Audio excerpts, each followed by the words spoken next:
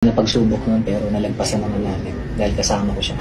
Wala, walang umabot sa aming balita na mayroong ganun na gustong makipag-ayos. Kahit kami rin wala naman. Kasi ako kasi, ang gusto ko lang naman mangyayari. Kaya ko na silang patawarin.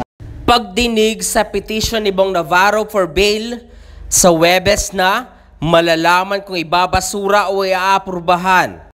Nakatakdang resolbahin ng Taguig City Regional Trial Court RTC sa Webes October 13 ang petition for bail na inihirit ng kampo na komedyante at television host na si Vong Navarro kaugnay ng kinakaharap na kaso na isinampa ng modelong si Denise Cornejo. Sa isang panayam, nilinaw ng bagong legal counsel ni Navarro na si Attorney Marie Glenn Abraham Garduque maghaharap ng ebidensya ang prosecution panel upang patunayang matibay ang kaso laban sa kanyang kliyente.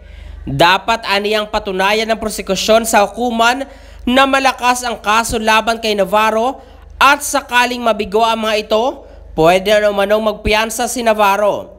Sa ilalim ng batas, ang kaso ay non-bailable offense at maaari lang makapagpiyansa ang akusado kung mahina ang ebidensya. Nitong Martes, nabigo si Vong Navarro na magpasok ng plea matapos basahan ng sakdal kaya ang hukuman na lamang ang nagpasok ng not guilty plea. Hindi dumalo ng personal si Vong Navarro sa nasabing arraignment at sa halip ay dinaan niya ito sa video conferencing. Hindi rin sumipot sa hukuman si Cornejo at abogado lang nito ang dumating.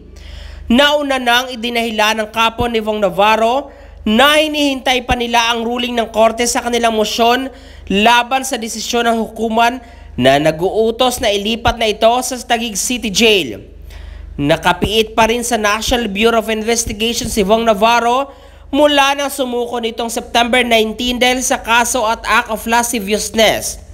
Ang kaso ay naugat sa reklamo ni Denise Cornejo na ginamit umano siya sa loob ng kanyang condo unit sa Bonifacio Global City sa Taguig noong Enero 17, 2014 na itinanggi ni Bong Navarro. Samantala, sa isang panayam nga ng isang ABS-CBN reporter, ay nagpahayag naman ng opinyon ang lolo ni Denise Cornejo na ayon kay Attorney Axel, gusto na lamang niya na makipag-areglo na lang ang kanyang apo kay Vong Navarro.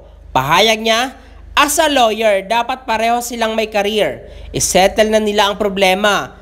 Because may kaso si Denise, kay siya kay Bong. Si Vong naman, may serious illegal detention case sa kanila. So what good will it do? Ang punto is, sana tulungan na lang natin ng korte. Let us settle all these problems na pwedeng masettle and then move on na lang para sa akin. Yan nga naging pahayag.